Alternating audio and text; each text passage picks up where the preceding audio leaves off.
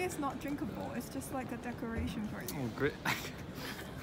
it's real whiskey inside though, I can taste it.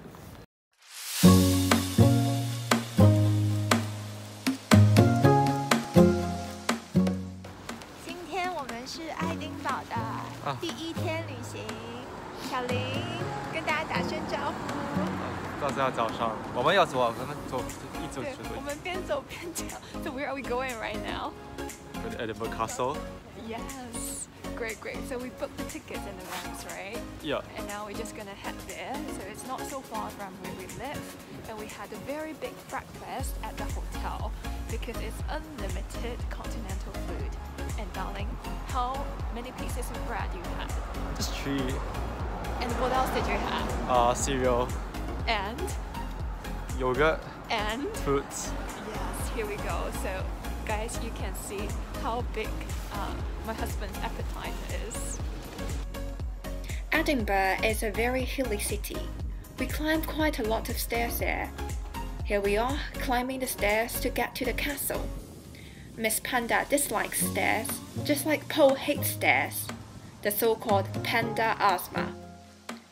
Finally, we reached the Edinburgh Castle. The castle has played a dominant role in the history of Scotland.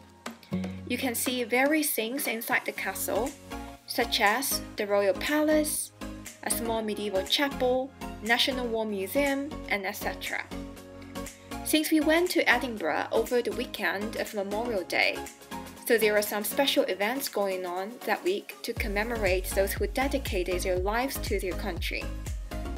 At noon, we saw the cannon fire.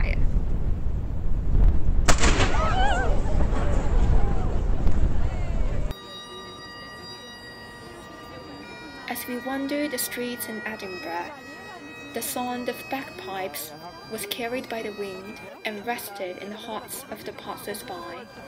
It has a certain cathartic feeling. The architecture in Edinburgh captivated our imagination of a distant and glorious past.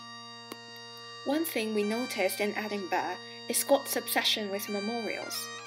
Sir Walter Scott's monument is the world's second largest monument to a writer. The Scott Monument dominates the Edinburgh panorama.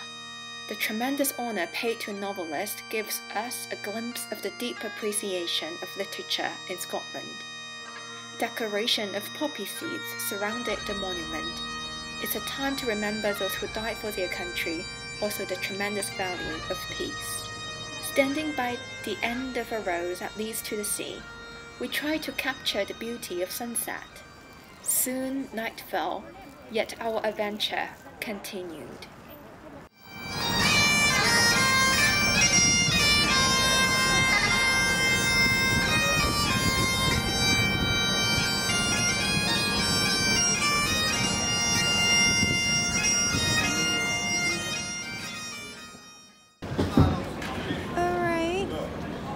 What are you holding? Small bottle of whiskey. Yeah.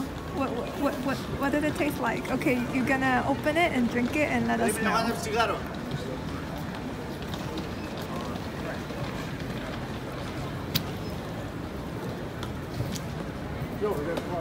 It's not coming out. street park. Yeah, just on the sidewalk.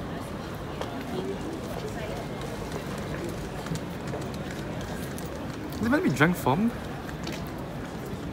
Maybe it's not drinkable. It's just like a decoration for you. Oh, great. it's real whiskey inside though, I can taste it. After the unsuccessful attempt of mini whiskey drinking, we entered St. Giles Cathedral and got a small little gift. Alright, so right now we're just taking a look at our souvenir, um, which we got from St. Giles. It's a very beautiful rose on the outside, and what's inside? Darling, would you please open it? Ooh, it's the nativity scene. Yeah, but it's like a miniature style. Everything looks so tiny. Giles has been a working church for almost 900 years. The famous Presbyterian minister John Knox used to preach there during Reformation we happened to see a rehearsal for the upcoming concert that night.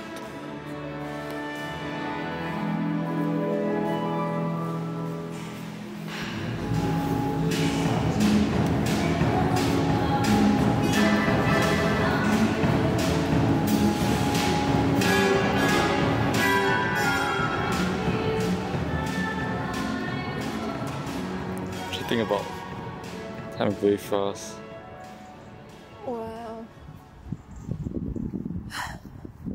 Looks like a grandma.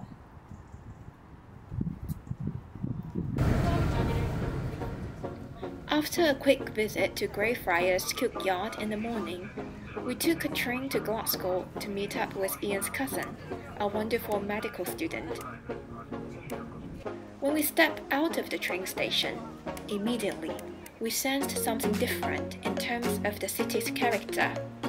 Unlike Edinburgh, Glasgow feels more modern and colourful.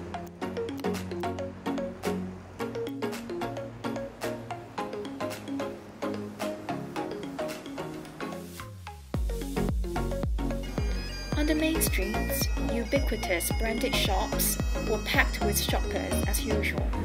Loads and loads of people walked past. The bustling and hustling reminds one of a busy Saturday in any big city. The integration of arts and culture gives the industrial cityscape a distinct warmth and vibrancy. For Ian, the most exciting thing in Glasgow was to visit sites designed by Charles Rennie Mackintosh, the renowned Scottish architect, whose design sensibility shaped how the city of Glasgow is conceived by the world. At the Willow Tea Rooms, the curves, dots, and geometric shapes showcase some of the prominent artistic choices of the famous architect. After a day trip in Glasgow, we returned to Edinburgh in the evening. Despite the cold weather, we still walked a bit to find a seafood restaurant to celebrate Johnny's thesis submission. Johnny will never get tired of fish, mussels, and shrimps. Sometimes you do extensive research to find a restaurant. Sometimes you just lucked into one. I guess that was our experience that night. Here we were, Mussel Inn Seafood Restaurant. We had an amazing meal, food delicious, portion generous. Such a satiating meal. Oh, I guess that's the Prime Minister. Really?